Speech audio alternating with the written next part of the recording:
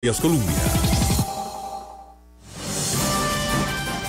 Son las 6 de la mañana, 9 minutos. Bueno, Danilo, comenzamos entonces. Vamos a saludar a nuestros invitados. Ya tendremos también comunicación vía telefónica. Vamos a, ver lo que logremos abarcar en una situación, en uno de los... Eh, a ver, sería esto uno de los lados que tiene la situación, la crisis producto del coronavirus. Hay muchos, pero hoy queremos abordar básicamente el tema económico. Leíamos ahora, en efecto, las bolsas a nivel internacional em, se han caído otra vez, un lunes negro. El precio del petróleo está rayando los 30 dólares. Eh, de acuerdo con el último reporte que entrega el diario El País en su sección económica. Es decir, que el tema económico, lo que vaya a suceder aquí en nuestro país, pues obviamente que es lo que queremos analizar. Se han tomado ya medidas, el gobierno está, ha anunciado el, eh, el fin de semana medidas especiales para hacerle frente a la crisis y uno se imagina, por ejemplo, qué pueda pasar hacia adelante con el tema de el desempleo, por ejemplo, pensando en, solo una lista. ¿Qué va a generar una empresa que tendrá que sacar su gente a la calle? Lo que es claro, oyentes de Colombia, es que va a haber un impacto económico. O sea, eso no es una pregunta, eso ya es un, es un, es un hecho que se va a presentar y que quizá no se vea en este instante sino en dos o tres meses. Y por eso esta mañana agradecemos la presencia aquí de distintas, distintos ángulos de este fenómeno. Aquí no se puede hacer nada si no hay legislación. Está don Pedro, no se puede hacer nada si no hay protección del consumidor, no se puede hacer nada si no sabemos hacia dónde nos dirigimos y cómo las variables nos van a afectar. Y por eso le agradecemos a doña Roxana y en breve estará la exministra de Hacienda, doña Rocío Aguilar, y también doña Pilar eh, Garrido, eh, ministra de Planificación. Don Pedro, doña Cintia, Doña Roxana, gracias por estar con nosotros. Bienvenidos. Buenos días. Bienvenido, don Pedro. Buenos días. Y Cintia. Buenos días. Roxana, permítanme saludar por favor a doña Pilar Garrido, la señora ministra de Planificación que nos atiende vía telefónica. Doña Pilar, muy buenos días, ¿cómo está? Buenos días, ¿cómo les va bien? Un saludo a usted, a, los escuchas y a los colegas de la cabina. Sí, le voy a pedir, ministra, ya que tengo aquí los invitados en nuestra cabina, em, el, a ver si pudiéramos hacer un resumen de la estrategia que el gobierno ha planteado para hacerle frente a una situación como la que estamos viviendo. Pero déjeme preguntarle en principio la situación actual, cómo la están eh, leyendo ustedes desde el gobierno, lo que está impactando desde ya la situación por el coronavirus. Bueno, lo primero es decir que, que hay una situación sanitaria que estamos siendo eficaces en atender, no obstante es algo que, que se va calibrando día a día y que, y que requiere medidas eh, que se puedan generar para responder adecuadamente al progreso que se va dando con, con esta situación. Tenemos confianza en que, en que estamos siendo capaces de, de sostenerlo en relación con las medidas. Esto, bueno, es una, en principio es un reto sanitario, pero también, como bien señalado usted, tiene repercusiones económicas. Estamos observando eh, algunas en, en, sectores sensibles como son turismo y sus encadenamientos, en materia de comercio y también en el sector agroexportador. Eh, de esa manera es cuando nace la idea de poder tomar medidas que vayan en la línea de aliviar el flujo de caja de los hogares y también de las familias y de, poder tener los recursos suficientes para poder inyectar a la atención de la emergencia y en un tercer momento poder asegurar también que estamos previniendo la destrucción del empleo. Bueno, ministra, entonces el gobierno ha anunciado cinco cosas que son muy, muy puntuales y que nos da también insumos para hablar con los invitados en esta mañana. Em, de esos cinco puntos, eh, llamó la atención, por ejemplo, el de los impuestos que alivia eh, a partir de hoy van a presentar ese proyecto. Ya le voy a preguntar a don Pedro el Ambiente que pueda tener un proyecto en este sentido para em, la moratoria en el pago de los impuestos. ¿Los puede explicar, por favor, ministra, en pocas palabras, cómo queda?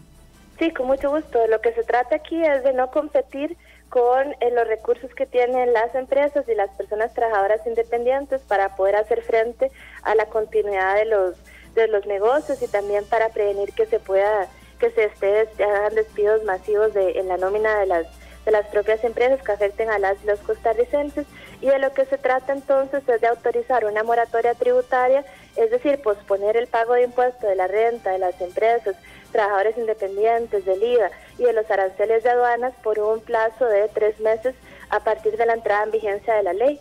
Y este, los montos de estos impuestos correspondientes tienen que ser cancelados por los contribuyentes, eso sí, antes del 31 de diciembre sin intereses ni multas, ahí no se le va a cobrar intereses sobre los saldos acumulados y también se está dejando una previsión en el propio proyecto de ley para que dependiendo del impacto de la pandemia sobre la economía, la ley autoriza al presidente a extender esa moratoria por un plazo de, eh, de hasta tres meses para que no, eh, para poder hacer frente a, la misma manera más adecuada. Eso es un pago, una posposición del pago, no se le está eximiendo a los contribuyentes de ninguna otra obligación tributaria.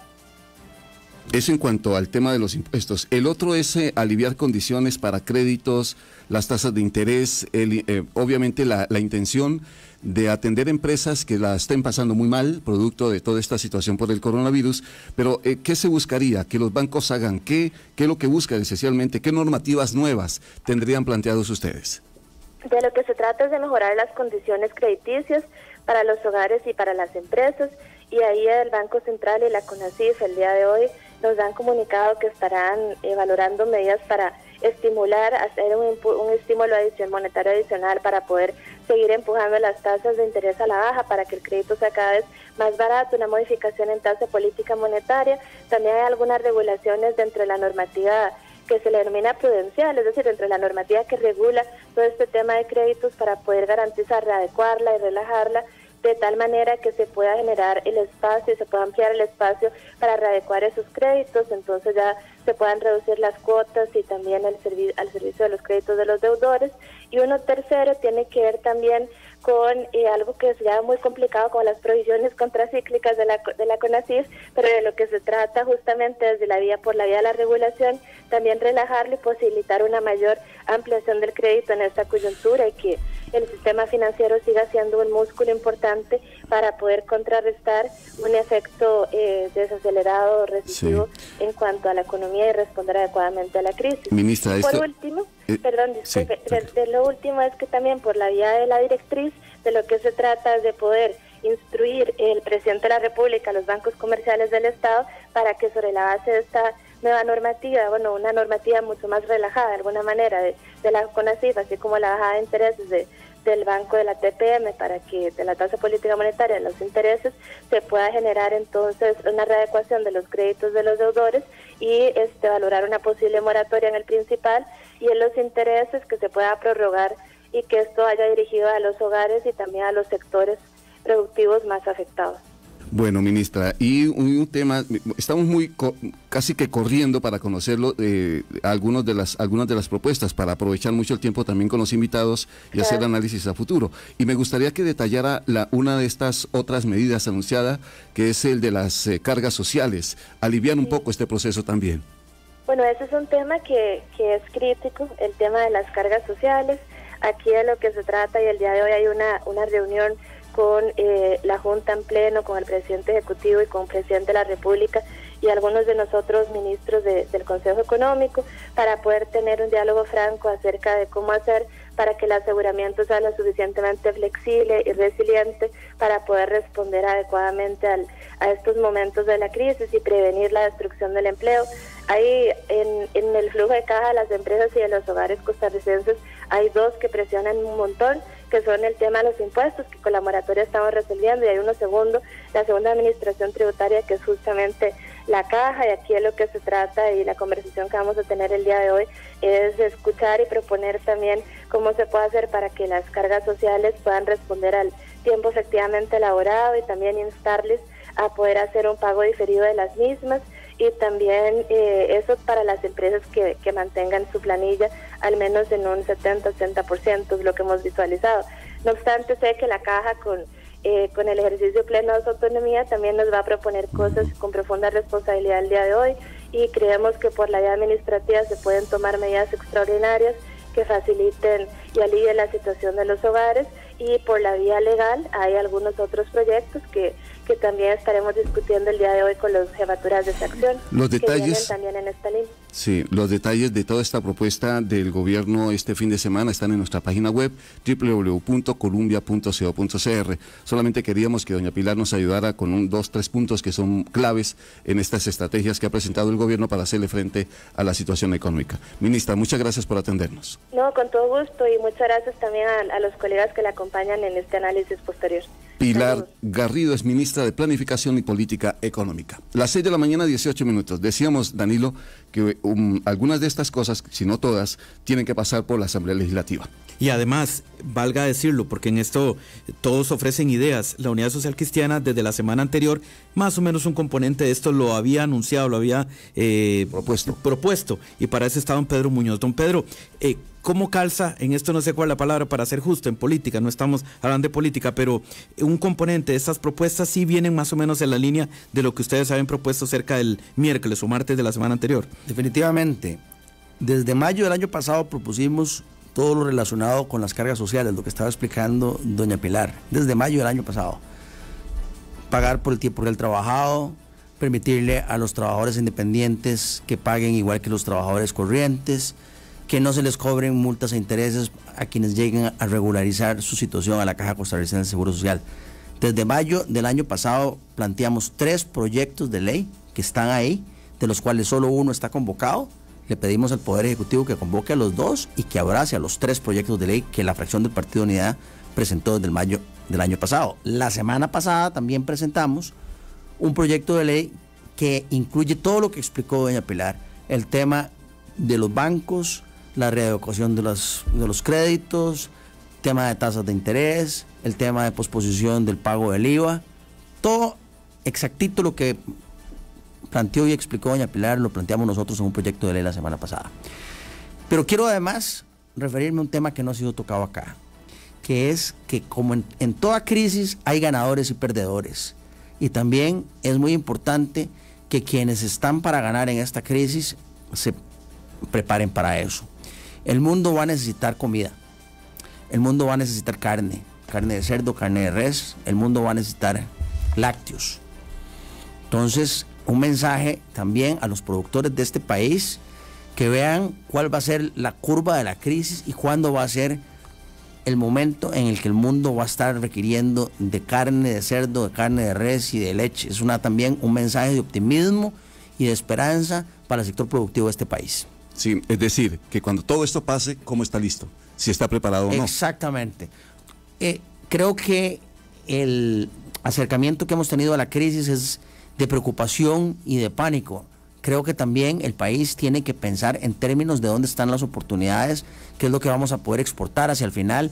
Y yo me atrevo a decir aquí que los productores de carne, tanto de cerdo como de eh, bovino, eh, y los productores de lácteos tienen una gran eh, posibilidad de, abastecer y de exportar. El impacto va a ser fuerte, don Pedro, pero es pasajero. Aguantemos, aguantemos que no, que no va a ser mucho. pero, pero déjeme preguntarle en torno al del proyecto en la Asamblea Legislativa.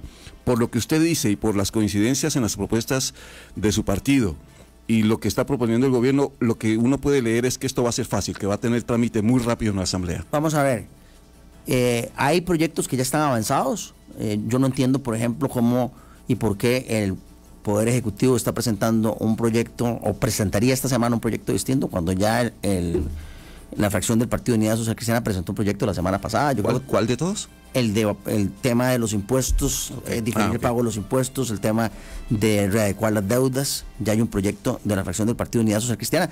Dice doña Pilar que se van a reunir hoy en la caja. Yo no entiendo cómo es que la caja no ha tomado decisiones cuando la fracción del Partido Unidad puso estos temas desde mayo del año pasado y las propuestas están ahí. En todo caso, eh, estamos en la mejor disposición.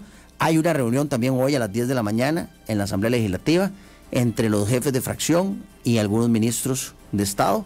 Ahí estaré yo. Las propuestas están. Yo lo que quiero es que los costarricenses sepan que nosotros en la fracción del Partido de Unidad, si bien hemos hecho oposición, hemos hecho control político, también hemos hecho propuestas y las propuestas están ahí sobre la mesa para ser analizadas y están a la orden de todos los costarricenses. Pues sí, es un momento en el que todos tenemos que poner de nuestra parte. 6 de la mañana, 23 minutos. Doña Roxana, vamos a ver, muchas cosas de lo que dijo la ministra Garrido están hoy por concretarse, y los bancos y la su jefe y todo, pero imaginemos que todo lo que el gobierno ha propuesto se concreta. ¿Usted qué impacto, qué eh, em, consecuencias positivas le ve a todo este plan, eh, que es la primera etapa, lo ha dicho el gobierno, primera etapa, qué impacto le ve para amortiguar lo que ya se está sabiendo que va a impactar en la economía nacional? Déjeme solamente, doña Roxana, presentarla muy oficialmente. Roxana Morales, ella es economista, es coordinadora del Observatorio Económico y Social de la Universidad Nacional. Ahora sí. Gracias. Bueno, en realidad esto nos ha caído como un balde de agua fría, ¿verdad? Yo creo que este tema del, del COVID-19 viene en un momento en que la economía de por sí ya venía con serios problemas, ¿verdad? No solamente eh, a nivel de, de fiscal, que ya, ya, ya, sabíamos, sino también el tema de ingreso a los hogares, de la capacidad de consumo, de la demanda, ¿verdad? Entonces tenemos a nivel internacional una situación que viene a afectarnos, que sabemos que Costa Rica es muy abierta a la economía internacional y todo lo que pase afuera nos va a afectar y además tenemos un conflicto interno, ¿verdad? Porque esto, esto es de escala mundial. Entonces, eh, lo que hemos planteado y ya a nivel internacional se ha planteado que posiblemente esto conduzca a una recesión mundial, ¿verdad? En el, en el corto plazo y en Costa Rica no sería la excepción, ¿verdad? Porque tenemos una caída tan fuerte, casi el 63% del Producto Interno Bruto de una economía, en el caso de Costa Rica, corresponde a consumo. Y si el consumo está paralizado porque tenemos todo cerrado, ¿verdad? Tenemos paralizadas completas eh, eh, muchas actividades, en otros países ya está paralizado, paralizado todo, ¿verdad? Aquí yo creo que a eso vamos por el, por el tema de, de los problemas que se vienen. Entonces las medidas que se van a aplicar son más paliativas, ¿verdad? Hay que entender eso. No nos vamos a salvar de los efectos negativos que va a tener esta crisis. Tenemos una limitación fiscal enorme. Quizá otros países puedan tener estímulos mucho mayores a su economía por la capacidad fiscal que tienen. Nosotros más bien tenemos eh, incluso una regla fiscal en este momento que podría eh, afectar en los próximos años la capacidad también de reacción a esta situación que tiene el país. Y entonces yo creo que muchas de las medidas van a afectar o van a beneficiar, pero lo que hacen es eh, minimizar esos impactos, ¿verdad? Tenemos en el caso de empleo, bueno, es cierto, podemos generar algunas condiciones para que las empresas eh, no tengan que pagar ahora el IVA, pero siempre lo van a tener que pagar. Y uno se pregunta también, ¿verdad? Porque no hay, eh, vamos a ver, no estoy diciendo que esté mal lo que se está haciendo, es que el margen es muy reducido. Uno podría decir, bueno, más bien condonemos el IVA dos o tres meses. No lo podemos hacer, ¿verdad? Porque necesitamos recursos y hacia adelante podría generar problemas. Las empresas ahorita que van a dejar de pagar el IVA o van a, vamos a ver, más bien no van a pagar el IVA estos meses, tienen que pagarlo más adelante. Y lo que Sin intereses, pero tienen que pagarlo. ¿Cuánto, cuánto va a durar esto, verdad? Porque, porque no sabemos, puede durar dos, tres meses, cuatro meses y reactivar una economía es muy complicado. Si las empresas, y eso es lo que me parece importante, que el gobierno también lo ha señalado, hay que cuidar que no cierren las empresas, porque reabrir un negocio, una microempresa es muy complicado. Entonces hay que tratar de sostener lo más posible el empleo y estas empresas para que no, el efecto no sea tan de largo plazo. Se me está ocurriendo, doña Roxana, eh, así mientras usted hablaba, porque las estrecheces fiscales eh, han sido evidentes, en los últimos dos años se han planteado. ¿Qué otras cosas siente usted que se pudieran valorar? Eh, bueno, de pronto tres meses es prorrogable cuando el gobierno vea que si la situación se extiende, pero ¿qué otras medidas usted ve factible a valorar por parte del gobierno para ayudar a que esta economía no se nos, no se nos caiga producto del COVID? Sí, tal vez mencionar que bueno, hemos estado trabajando el fin de semana en un documento para generar algunas líneas de acción o propuestas que, que estamos publicándolo ya en este momento, estamos empezando acaba de llegar, acaba de enviar, doña Alexandra. Eh, y una de, Vamos a ver, lo que nosotros tomamos en cuenta es, en este comunicado son varias consideraciones para tomar decisiones de media política pública. Una es la estrechez fiscal, la segunda es el alto nivel de desempleo informalidad que hay en el país y que ha limitado la capacidad de gasto de los hogares a través de una reducción del ingreso real. Tenemos también una afectación en que muchas de las políticas quizás se tomen ahora, pero no necesariamente, o la decisión se tome ahora, pero no necesariamente se aplique ya y entonces lo que planteamos es, bueno, necesitamos urgente, no es solamente hagamos tal cosa y esperemos que pasen todos los procesos porque puede durar dos, tres, cuatro meses. Mientras nos reunimos, lo analizamos. Exacto, es qué medidas podemos tomar ya, implementar ya para eh, minimizar el impacto. Una de ellas que nosotros estábamos considerando, bueno, a pesar de la estrechez fiscal que tenemos y lo complicado que está haciendo este tema del cierre de locales comerciales, una opción es en realidad condonar el IVA eh, de alquileres para eh, comercio, porque las empresas están viendo obligadas a cerrar sus negocios por bastantes días. Eh, las, los, vamos a tener los que alquilamos o las personas que alquilan estos locales van a tener que pagar el IVA a, las, a los dueños y los dueños podrán pagarlo dentro de tres, cuatro meses, pero el productor, productor, que es el que requiere esos dineros frescos, no los va a tener. Entonces, una forma es condonar el IVA por lo menos algunos meses, dos, tres meses, analizar el impacto que tendría sobre los ingresos del, del Estado y luego ver qué forma, una vez que pase esto, qué, qué forma podemos tener de... Eh, em, digamos, de obtener esos recursos, porque es muy importante este tema, ¿verdad? Más que todo para las eh, microempresas que no están inscritas en el MEC, porque actualmente la, ley les, les exonera del IVA eh, de alquileres a algunas empresas, pero las que no y tienen que pagar sus, sus eh, alquileres van a tener que hacerlo sin recursos porque están cerrados sus negocios, ¿verdad? Entonces yo creo que esa es una de las medidas. Eh, hay otras medidas de política monetaria que yo creo que se van a tomar, ¿verdad? Yo creo que a nivel internacional se han venido tomando, que es la reducción de, la tasa de política monetaria para facilitar crédito. ¿Ustedes plantean desaplicar la regla fiscal? Nosotros al final planteamos... 2020 y 2021. Y yo creo que eso se vendrá... Eh, Vamos a ver, incluso una, una eh, excepción que tiene la regla fiscal es que cuando la economía crece por debajo del 1% se puede desaplicar, ¿verdad? Yo creo que esto va a generar un impacto económico fuerte a nivel nacional y va a implicar la necesidad de generar inversiones en los próximos eh, meses, años, ¿verdad? Incluso eh, transferencias a algunos hogares y vamos a ver, y la regla fiscal, pensando que en este escenario también con una caída importante en el consumo vamos a reducir los ingresos del Estado y esto va a hacer que vamos a tener que endeudarnos más, ¿verdad? Como nación. Entonces ahí es cómo, vamos a ver, desaplicar o controlar, flexibilizar un poco, ¿verdad? La regla fiscal en los próximos dos años de manera que podamos sortear esta crisis, ¿verdad? Con una... Eh, vamos a ver, más bien la regla fiscal podría ser procíclica, ¿verdad? Porque la regla fiscal me va a limitar muchísimo más el gasto en los próximos años y si la economía ya está en, esperemos, ¿verdad? Que no se dé así, pero si llega una recesión, pues tendremos que impulsar el gasto. Claro, doña Roxana, es que, y nuestros invitados, es que nos pilló en mal momento, ¿no? Nos pilló en un momento en el que se pensaba que después de la reforma fiscal eh, la economía iba a respirar un poquito, que veníamos, eh, eh, lo decían algunos sectores, recuperándose eh, poco a poco eh, la actividad económica como tal y nos pilla una situación como esta. Doña Cintia Zapata es directora de apoyo al consumidor del Ministerio de Economía. Doña Cintia, en principio, lo que estamos viendo hasta el momento es, bueno, reacción de la gente, eh, comprando más cosas, acaparando en algunos lugares, medidas que han tomado, por ejemplo, algunos establecimientos. Hablábamos esta mañana, por ejemplo, del caso de Walmart, que no solo va a limitar la compra de productos de aseo, sino también de otros como arroz, etcétera. Em, estas cosas, de estas cosas, vamos a tener que aprender a comportarnos como sociedad. En principio, el Ministerio de Economía, medidas o cómo están leyendo ustedes lo que está pasando con la gente en la calle. Sí, bueno, lo primero que, que sucede cuando el comportamiento del consumidor es em, totalmente atípico, em, es que eso provoca de un efecto normal en el mercado. Si el consumidor restringe la compra, entonces provoca sobreabundancia en el mercado y por lo tanto eh, tendemos a tener que los precios bajan, ¿verdad?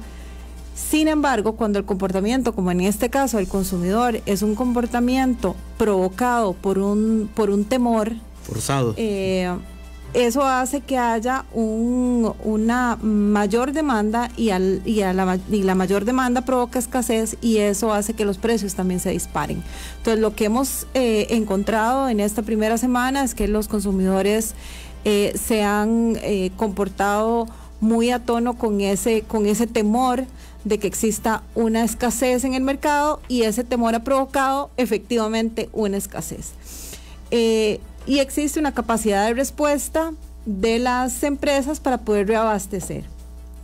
No estamos hablando de una crisis internacional en la provisión de bienes y servicios, pero evidentemente sí hay una falta de capacidad de las empresas para autoabastecerse, porque las compras son cíclicas, porque las compras son programadas y muchos de los, em, de los productos también que están siendo de alta demanda, algunos son producidos eh, a nivel nacional, pero otros son de demanda internacional y eso evidentemente provoca eh, un, un, desabasto en el mercado. Entonces, lo primero que hay que hacer es garantizar el abastecimiento y esto se logra a través de políticas de autorregulación de las empresas. Así que eh, nosotros apoyamos. O sea, esto es decisión, doña Cintia, de, de los supermercados. Es de, eh, regulación de, ellos. De los supermercados Porque aquí hay ganadores, Doña Cintia, como dice Pedro, hay ganadores de, en vista del, de, la, del aumento, aumento de la demanda descontrolada, evidentemente. Sí, digamos, ese es el, el, el, el, posible ganador, es el,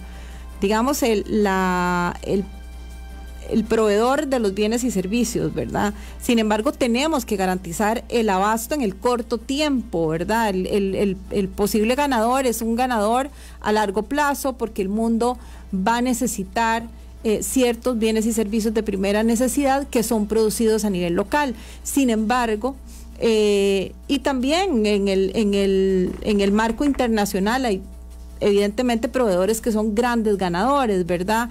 Em, hablamos de que en Estados Unidos, por ejemplo, se agotó el papel higiénico. Bueno, ¿verdad? Nosotros no queremos llegar a ese, a ese momento. Entonces, hay medidas de autorregulación que están tomando las empresas que son apoyadas por el Ministerio de Economía, Industria y Comercio. ¿Y por qué es importante la autorregulación eh, por encima de la regulación?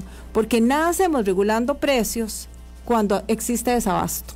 Es decir, podemos fijar un número X ¿verdad? Que la verdad es que no hay producto en el mercado. Entonces, lo primero que tenemos que garantizar es que efectivamente exista eh, un abastecimiento en el mercado que en provisión, por ejemplo, de alcohol gel y ya también, eh, pues nosotros tenemos un gran productor a nivel nacional, que es la Fábrica Nacional de Licores, pues exista también una adecuada transferencia de las cuotas de ese alcohol a quienes son industriales del alcohol y finalmente em, proveen a la comunidad de alcohol en gel. Doña Cintia, pero y que a través de este tipo de cadenas podamos asegurar el abastecimiento. También existen em, em, eh, medidas de esta naturaleza en las farmacias. claro, doña Cintia, déjeme preguntarle, eh, pero en el tema de precios, aunque sean poquitos los productos, ahí sí van a tener que actuar. Es decir, tengo varias preguntas, consultas frente al tema de los precios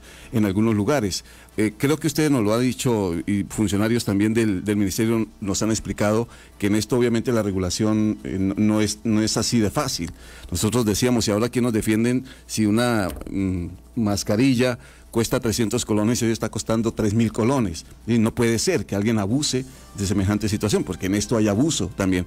En eso sí ustedes están tomando una decisión de regular o no los precios. Sí, se están monitoreando una serie de, productos dentro del Ministerio de Economía, ¿verdad? Que son eh, de primerísima necesidad para la crisis, pero como repito, no pueden ser todos los productos y adicionalmente eh, tienen que ser aquellos que tengan un comportamiento totalmente eh, desmedido, que la provisión no se pueda asegurar, ¿verdad? Eh, cosas como, como muy, muy puntuales y esas están siendo monitoreadas por el Ministerio de Economía para definitivamente entrar a la valoración de una fijación. Sin embargo, repito, lo primero es asegurar el abastecimiento. Nada hacemos regulando un precio desde el escritorio si no hay provisión de bienes y servicios para los consumidores. Entonces, las medidas de autorregulación han sido... Eh, establecidas básicamente por las empresas son apoyadas por el Ministerio de Economía. Consideramos que ante un comportamiento irracional, ¿y por qué irracional? Porque estamos hablando de que las personas van y compran arroz como si el arroz fuera a escasear, ¿verdad? Eh, estamos ante un comportamiento totalmente caótico, eh, atípico de los consumidores y ante este tipo de comportamientos. Irracional. si se quiere, entonces hay que racionalizar también y las medidas de autorregulación son medidas adecuadas. Las personas han comprado, por ejemplo, eh, más desinfectante de la cuenta, ¿verdad? Cuando se ha dicho, bueno, es que de nada vale desinfectar, ¿verdad? Porque no podemos desinfectar totalmente todas las superficies. De nuevo, el lavado de manos es lo más importante, ¿verdad? Entonces, hay productos sumamente básicos eh, a los que el Ministerio de Economía sí le lleva ese, ese tracking para eh, garantizar, por un lado, abasto y por el otro, eh, valorar un tema de regulación de precios. Doña Cintia, vamos a cumplir unos compromisos y nuestros, invitados y regresamos rápidamente, solamente mm, para, para don Pedro. en las propuestas de ustedes de la unidad estaba algo con el tema de las cargas sociales, ¿verdad? Sí, sin lugar a dudas. Desde mayo del año pasado presentamos tres proyectos a los Es que me gustaría que lo explicáramos ahora porque creo que es una salida importante, no solo por la coyuntura especial, es que ese tema en muchos sectores de la economía se sigue llevando como una gran carga. Eh, cómo aliviarlo y aprovechar una situación como la actual pensando que eso se puede aliviar un sí, poco. Señor. Ya volvemos, 638. Vamos a comerciar. Ya regresa Noticias Colombia. El programa de diseño de páginas y aplicaciones web del INA permite desarrollar sitios electrónicos dinámicos y competir en el mercado nacional e internacional. La oferta formativa del INA responde oportunamente a las necesidades del sector empresarial. Centro de llamadas 2210-6000. INA, tecnología e innovación para la empleabilidad. Porque usted cuida su negocio y trabaja 24/7 para verlo crecer, con los servicios Colby Pymes le damos las mejores herramientas para potenciarlo. Conectividad con fibra óptica, publicidad digital, diseño de páginas web y más. Contáctenos y deje que expertos se encarguen de impulsarlo en el mundo digital. Llame al 800 Colby Pymes. Juntos hacemos crecer su negocio. Somos Colby Negocios. Volvemos a las informaciones. Noticias Colombia. No se va a mover tan rápido. Las por favor. 6 de la mañana, 40 minutos, retomamos foro de Noticias Colombia sobre el tema económico. Siente uno que una hora no es nada para un tema que es tan, tan, tan sensible. Hay una cosa, eh, y, y le planteaba a don Pedro Muñoz, el diputado de la Unidad Social Cristiana, que nos acompaña hoy, porque todo esto tiene varias, varios lados, varias aristas, varios protagonistas, y uno de ellos es la Asamblea Legislativa, que se- va a ser un gran, gran protagonista de cara a la situación económica del país. Le planteaba a don Pedro, antes de ir a los comerciales, en el tema de las cargas sociales. Es una coyuntura especial y- y yo no sé si la reflexión valga la pena.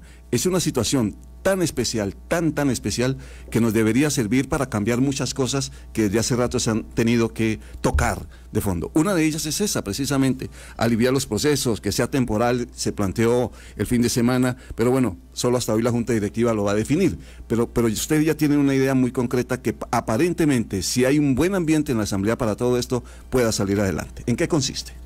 Hay más de un millón de trabajadores independientes que están fuera de la Caja Costarricense de Seguro Social. Me refiero a jardineros, fontaneros, carpinteros, pero también abogados, ingenieros, doctores, que no están asegurados. Ellos tienen un miedo terrible de acercarse a la caja porque les cobran 14 años para atrás, más multas, más intereses. Entonces todas estas personas no se van a acercar a la caja. Y si estas personas además quisieran contratar a alguien, digamos que el jardinero contratar a un ayudante o el abogado contratar a una secretaria, tampoco puede hacerlo ni asegurarla a la secretaria o, el jardinero al acompañante, al, al ayudante, porque le van a cobrar 14 años para atrás más multas, más intereses.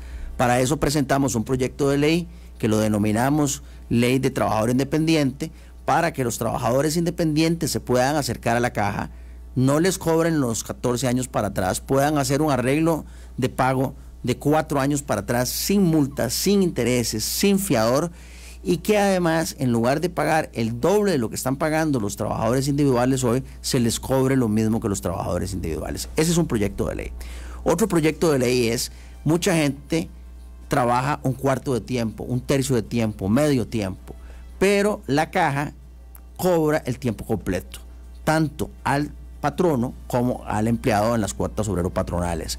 Lo que queremos es que se pueda pagar con base en el tiempo real trabajado, no con base en una idea o en una presunción.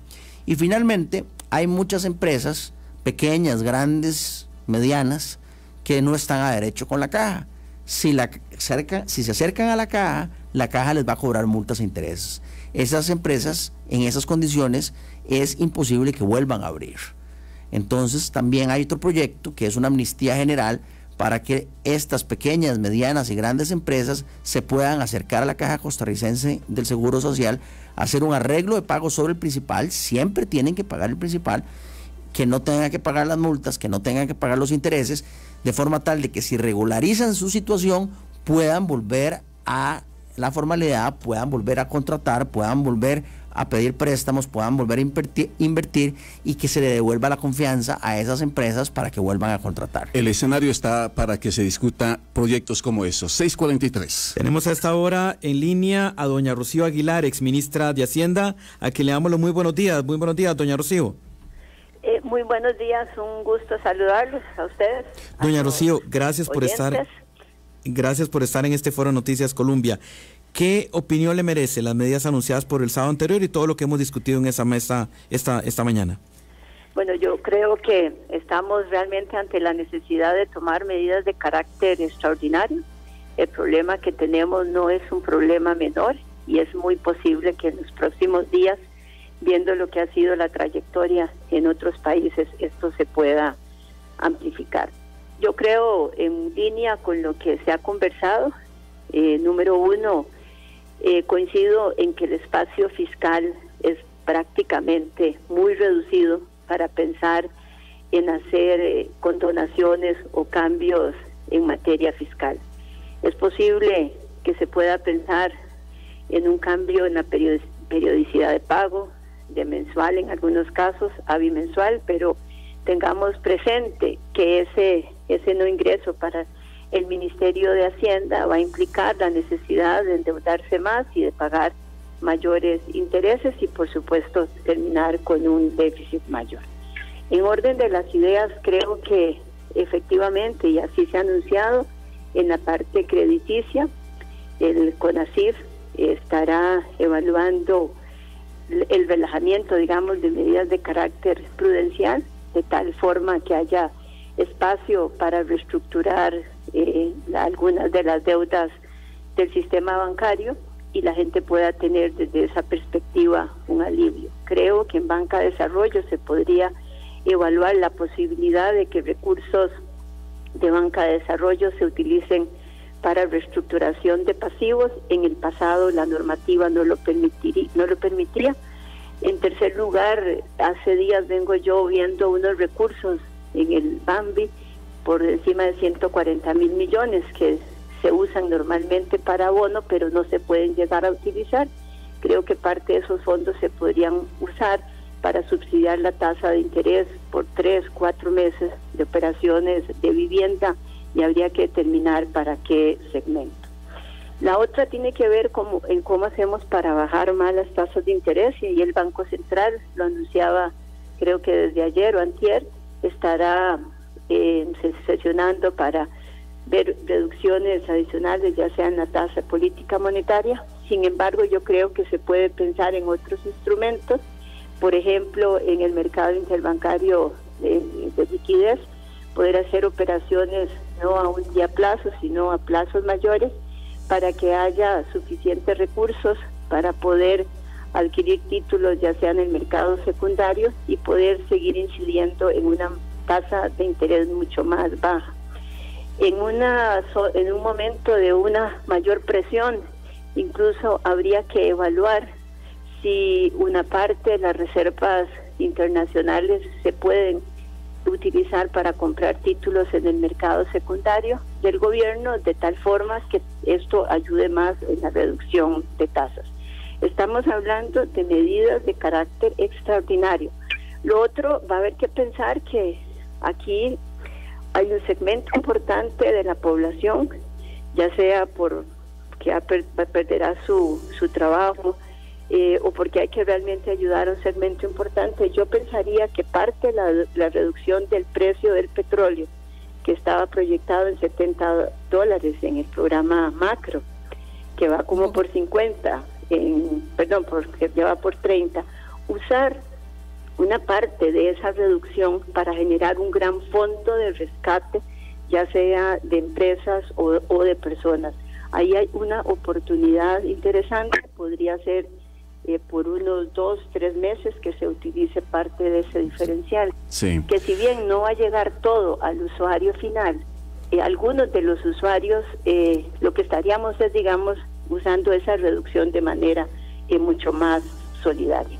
Doña Rocío. Es necesario, imprescindible, el tema de la caja. podrán haber proyectos de ley, pero me parece que la Junta Directiva de la Caja, que la componen nueve eh, miembros, de los cuales tres son del gobierno y tres son del sector privado, tienen la capacidad suficiente y los votos suficientes para poder tomar decisiones de urgencia para reducir, eh, ya sea por un periodo, por un porcentaje de las cuotas, para reducir los, el salario a partir del cual hay que cotizar. Y creo que sobre eso se han dado ahí varias ideas.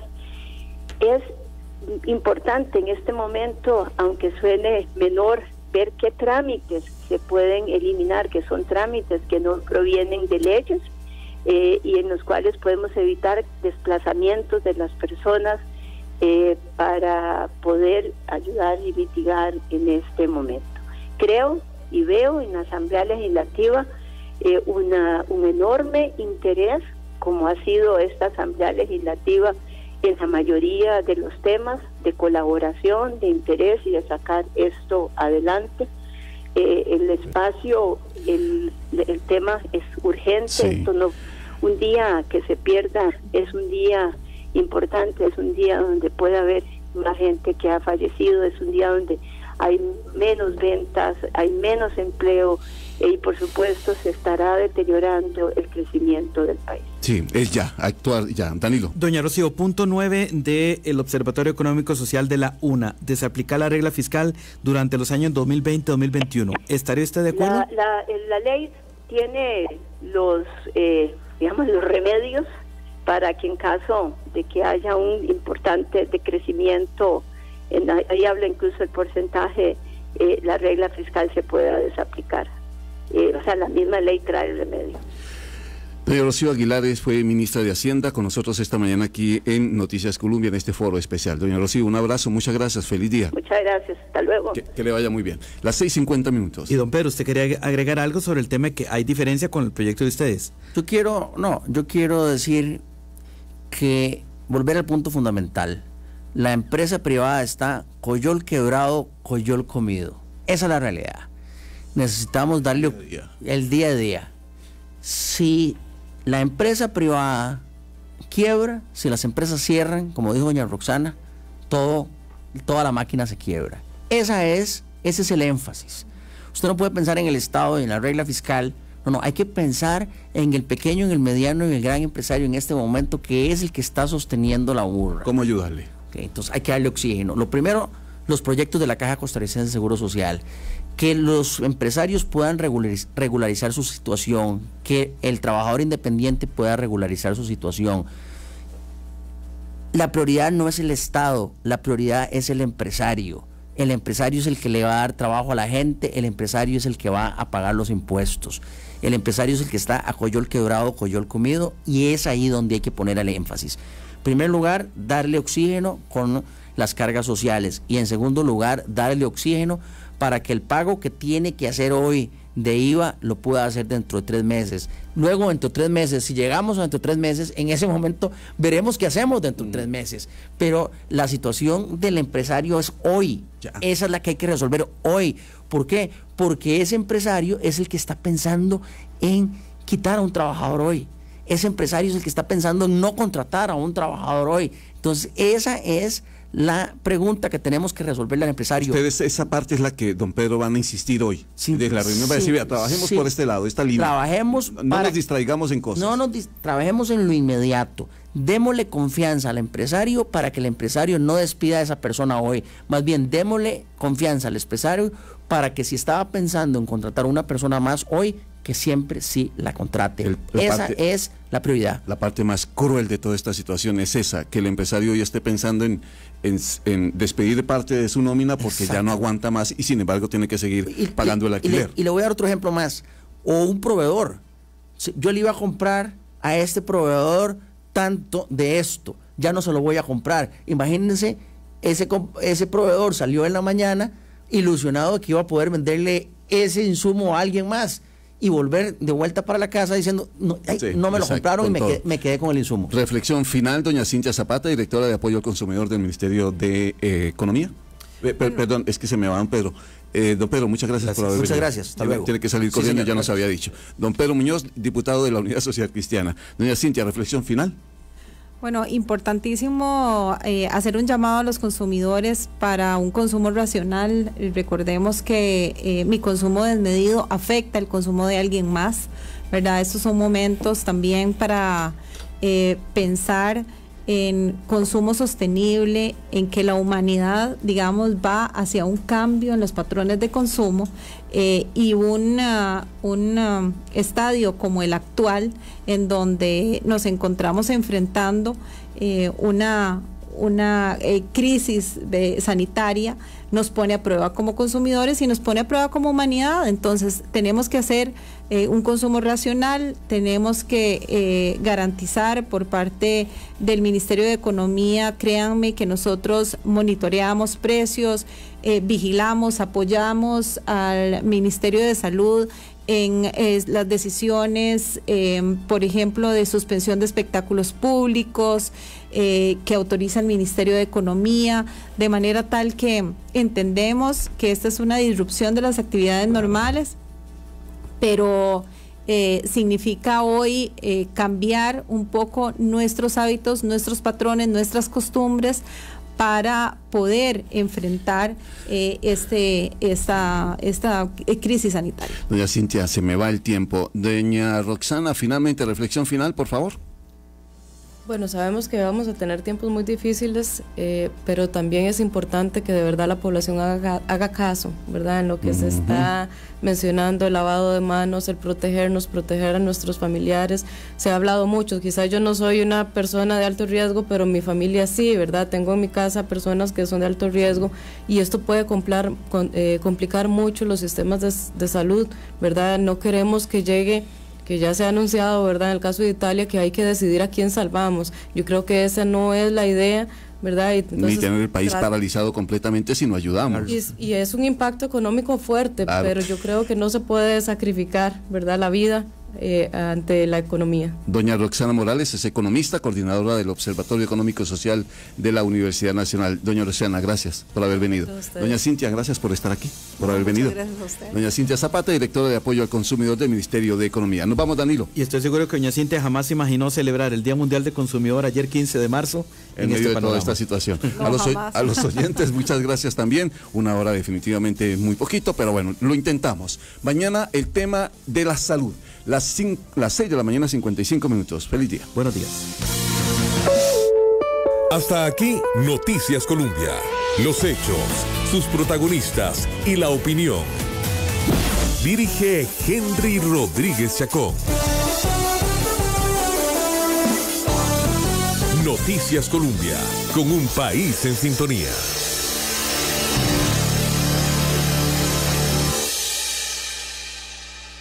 Enseguida, Colombia Deportiva.